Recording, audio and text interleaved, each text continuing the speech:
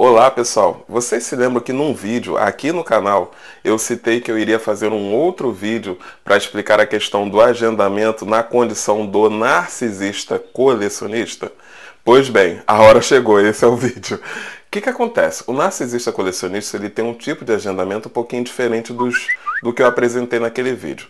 O narcisista colecionista ele tem geralmente uma comorbidade de atuação que é a frente organizacional. Lembrando que eu sempre falo das quatro frentes de atuação de uma pessoa narcísica, que são elas: organizacional, parental, filial e relacional. O colecionista ele vai atuar basicamente em duas frentes, a frente relacional e a frente organizacional. O problema é que com a frente organizacional ele vai, ele vai passar a organizar a metodologia de ação. Em outras palavras, ele vai usar uma agenda mesmo. Ele é um colecionista. Desculpa, vou falar um termo aqui bem para você entender. Ele é piranha. Então ele vai pegar lá, ó, e vai anotar as vítimas. Ele vai pegar a primeira vítima, vai anotar, vai anotar a segunda, o horário que ele vai com uma, o horário que ele vai com outra, o que ele pode fazer com uma para que ele, a, a primeira se apaixone, a segunda do que, que ela gosta ele vai fazer também.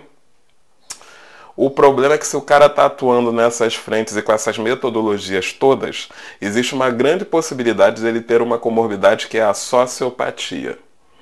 Então, a grande coisa do agendamento é que no narcisista colecionista, muito provavelmente a comorbidade que estará lá é a sociopatia. Ou seja, é um narcisista sociopata.